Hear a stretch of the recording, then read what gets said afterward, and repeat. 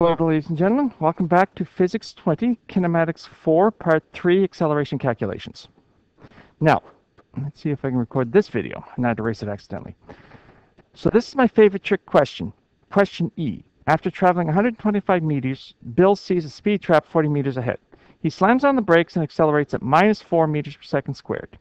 Will he get a speeding ticket? V final, uh, less than or greater than or equal to 50 kilometers an hour. Now divide by 3.6, that's 13.9 meters a second, I believe. Yes. So he has to be going less than 13.9 meters a second when he passes by the policeman. All right. Now I want you to look at this carefully because it's actually a sneaky trick here. The sneaky trick is this is a two-parter. We have Bill as he's driving down the road. Here, he's leaving the parking lot. V initial, 5.0 meters a second. We don't know his V final. We know his acceleration is 1.5 meters per second squared. What else did I say? He travels 125 meters. then what does he do? He hits his final velocity at a certain time.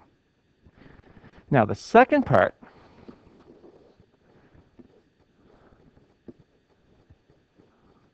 he's driving down the road and 40 meters ahead he sees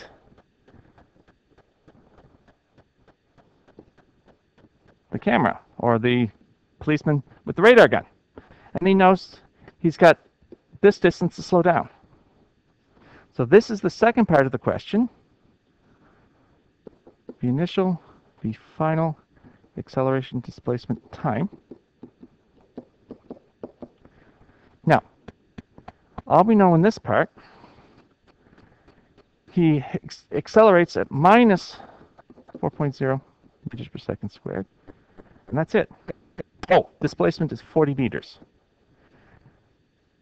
We want to know his final velocity here.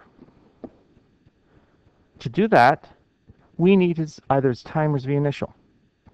The key here, and what makes this sneaky, is that his v final here becomes his v initial here. So we've got two separate parts of this, two separate calculations we have to do. In this first part, we have to figure out his v final.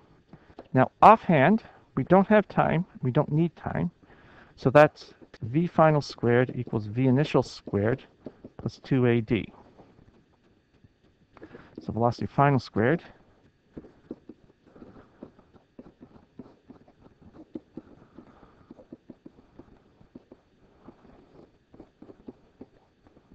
So 5 squared plus 1 plus, oh god, I hate doing this in my head.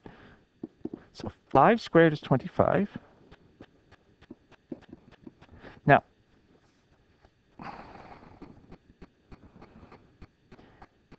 So velocity final squared equals v initial squared, 5 squared, plus 2 times a times d.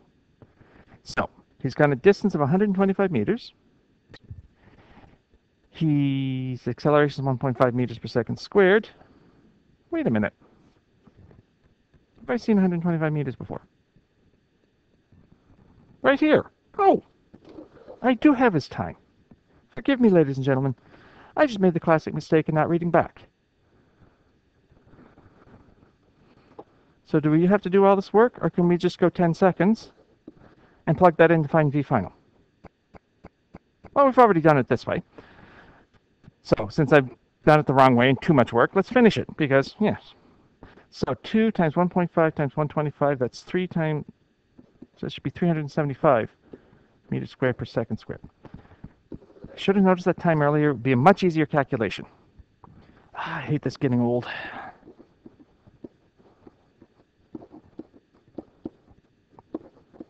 Now I happen to know the square root of 400 is 20.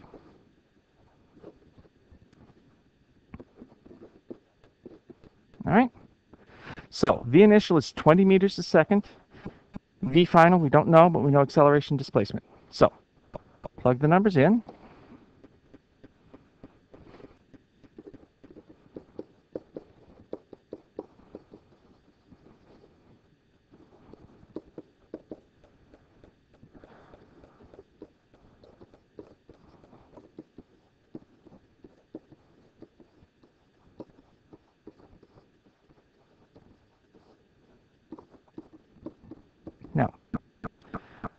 Going to stop there. V final squared equals V initial squared plus 2AD. V final squared is, I don't know, but V initial is 20. 20 times 20 is 400. Now, 2 times 4 is minus 8. Minus 8 times 40, minus 320.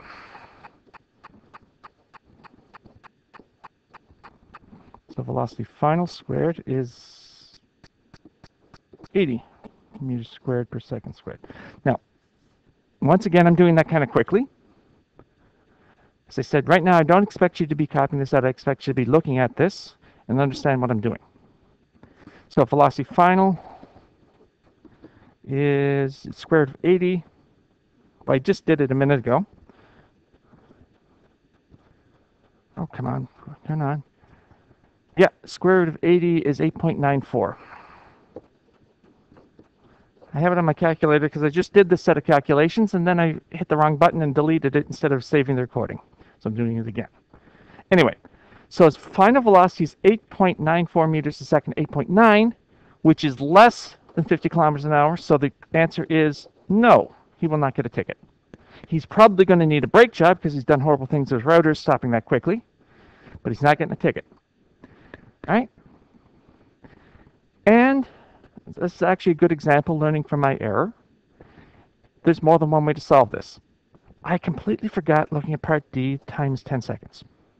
If I'd known that, then velocity final is velocity initial plus AT, 5.0 meters a second, plus 1.5 meters per second squared times 10 seconds. That's 5 plus 15, which is 20 meters per second. And notice how much quick, how much easier that is than the v final squared minus v initial equals v initial squared.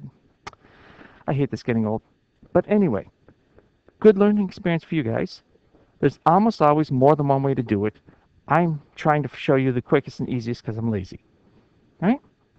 Now, that's a lot of calculations, and now you get to practice them on the worksheet. So, please start on the homework. If you have a question, shoot me an email. Otherwise, good luck. I'll see you in class.